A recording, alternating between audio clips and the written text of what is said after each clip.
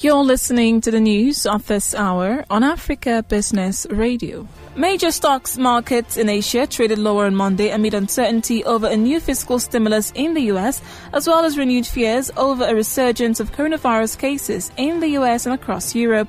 The Shanghai Composite led the losses, dragged down by a consumer staples sector and financials. The Hong Kong market was closed for a holiday.